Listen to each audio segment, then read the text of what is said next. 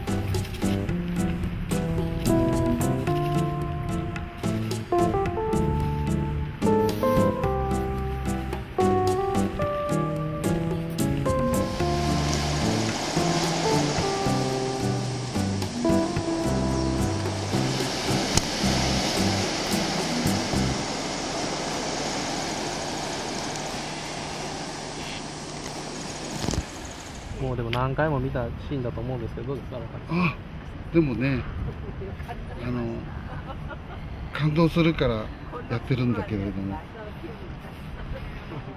これ感動しなくなっちゃったら人間ももうおしまいだね。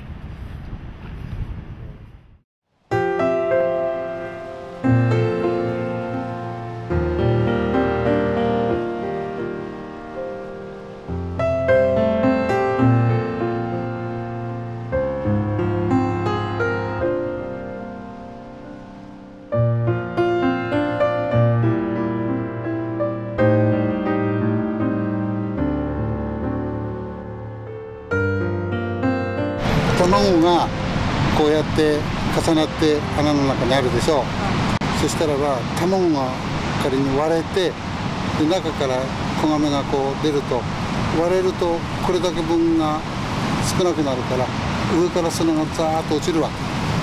そのどういうのかなザーっていう音を見極めるわけ。